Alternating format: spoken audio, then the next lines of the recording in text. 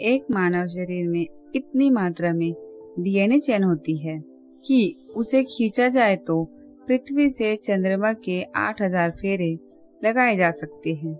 इस धरती और सूरज के बीच 400 बार लपेटा भी जा सकता है। डीएनए की इतनी बड़ी चेन के एक सही और सूक्ष्मतम अंश के विश्लेषण से कई परिणाम मिलते हैं। इसलिए अपराधी को दंडित करने के लिए डीएनए रिपोर्ट की काफ़ी महत्वपूर्ण होती है। इंसानों में डीएनए का सिर्फ़ 8.2 परसेंट हिस्सा ही एक्टिव और फंक्शनल होता है।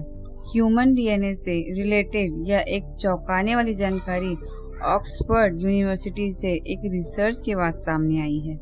2012 में साइंटिस्टों के बताए आंकड़ों से यह पूरी तरह डिफरेंट है। पहले बताया गया था कि ह्यूमन बॉडी के 80 परसेंट डीएनए एक्टिव और फंक्शनल होता है। आंकड़ों को साबित करने के लिए ऑक्सफोर्ड की टीम ने टेस्ट किया कि मैमल्स के 100 मिलियन से भी ज़्यादा सालों की जाँच के दौरान ऐसे कितने डीएनए हैं जिसमें बदलाव देखने को नहीं मिला। इसका यह मतलब है कि ऐसे डीएनए महत्वपूर्ण है और इनका कोई न कोई रोल ज़रूर होगा। वीडियो कैसा लगा हमें ज़रूर बताइए। और चैनल को सब्सक्राइब करना ना भूलें।